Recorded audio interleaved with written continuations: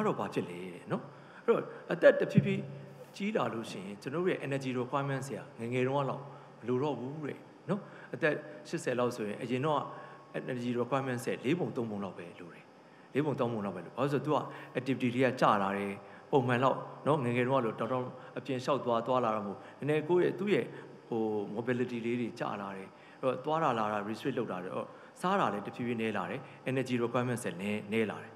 ဒါပေမဲ့အဲ့လိုနည်းလာတဲ့အခါမှာ energy expenditure လည်းနည်းတယ်အဲ့တော့နည်းနည်းစားပြီးတော့နည်းနည်းစားမှာဘာဘာလို့လဲဆိုတော့ micronutrient dense high nutrient food နော်အဲ့တော့နည်းနည်းပဲစားတဲ့အခါမှာစားတဲ့အစားအသောက်ဒီနော်ခုနကျွန်တော်ပြောခဲ့တဲ့ vitamin C mineral C ကျွယ်ဝတဲ့အစားအစာလေးရွေးချယ်စားသုံးဖို့လိုလာတယ်။ဘာလို့ဆိုတော့ तू ကနည်းနည်းပဲစားတော့ဒါပေမဲ့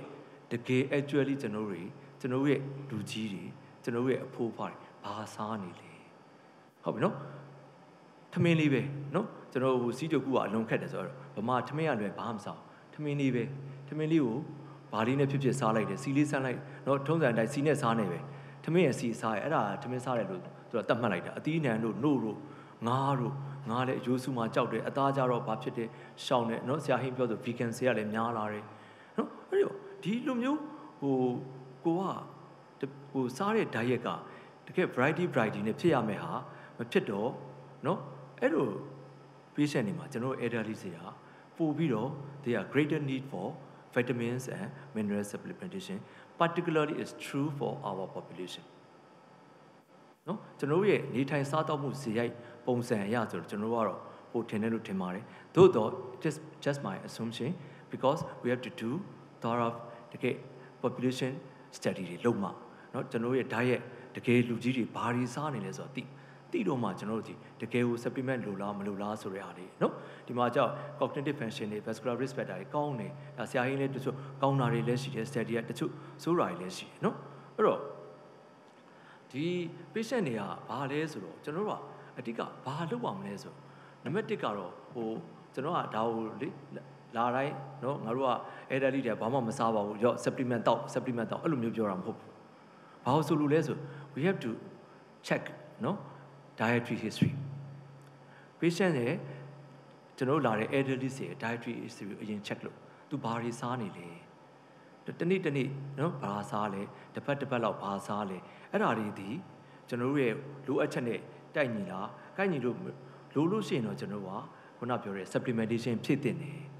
အဲအဲ့ဒီမှာမှ mega doses ပေါ့နော်တချို့ကအရန်ကို high concentrate နော်တချို့ဟိုယူရီးယားသွားတယ် vitamin D နော် capsule တချို့က6 6သိန်း6သောင်းအားတွေကတစ်ပတ်မှာ weekly basis နဲ့အဲ့ဒါကိုတချို့ daily တောက်ကြတဲ့ဟာတွေပါရှိတယ်ဟောများများတောက်အားရှိတယ်ဆိုနော်ဗမာလူမျိုးထုံးစံအဲ့တယောက်ကဒီဘက်ကဟာလည်းတောက်တယ်ဟိုဘက်ကဟာလည်းဆရာအောင်တယောက်တစ်မျိုးစီပေးထားတယ်အကုန်လုံးတောက်ကြတာလေးရှိတယ်အဲ့မှာကျွန်တော် elderly မှာဘာပြဿနာလေးရှိတယ်ဆိုခုနကကျွန်တော်ပြောရတယ် water soluble နဲ့ fat soluble elderly တွေက water content စာကျ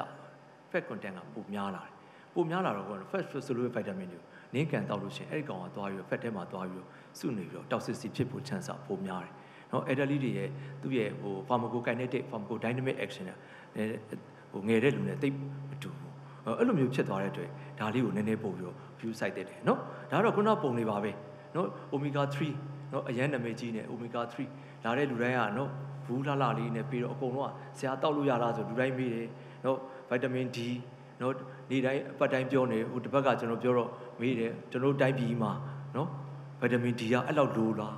နေဒီဒီလောက်ပူနေတိုင်းပြည်ဟုတ်တယ်ဒါပေမဲ့ကျွန်တော်တို့နေဒီဒီလောက်ပူတဲ့တိုင်းပြည်အပြင်ဟောဘယ်နှခါထွက်လဲကျွန်တော်အဲ့ဒါလေးတွေတကယ်ထွက်လားထွက်လို့ရှိရင်အဆောင်ကာနဲ့အင်ကြီးလဲရှည်နဲ့တော့ဒါတွေကဟိုဟိုကျွန်တော်ပြီးရင်ပြပါမယ်နော်ကျွန်တော် study လုပ်ထားတဲ့ဟာတွေအဲ့တော့ဒီဟာတွေရောအာယုံပါတဲ့ဟာတွေအာယုံနဲ့လိုတာပဲတကယ်စားနေလားဒီဒီဟာတွေ ဒါပေမဲ့ဒါတွေကသူတို့သူတို့နိုင်ငံကဟာတွေလीကျွန်တော်ရှီယာဟာမဟုတ်တာကျွန်တော်တိုင်းပြည်လူတရားမှာဒီဟာတွေစားနေတဲ့နော်ဒီလူ diet တွေစားနေလို့ဘယ်နှယောက်ရှိလို့နော်ဘယ်နှယောက်ရှိတော့အဲ့တော့ဒီ elderly patient တွေမှာနော်ဗီတာမင် B လဲလိုတာပဲ D လဲလိုတာပဲ B12 လဲလိုတာပဲ C လဲလိုတာပဲ folic acid လဲလိုတာပဲခုနဆရာဟင်းဒါအကျယ်တွင်းပြောသွားပြီးပြီ minerals တွေမှာ minerals တွေလဲဒါတွေနော် magnesium potassium ဘာလို့ तू သူကဒီတစ်ခုချင်းတစ်ခုချင်းစီဟာ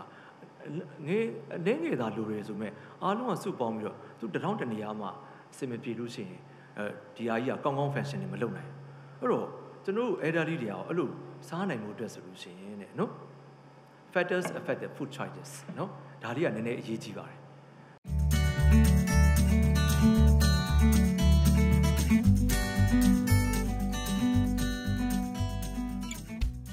ซีฟัม caring for well being.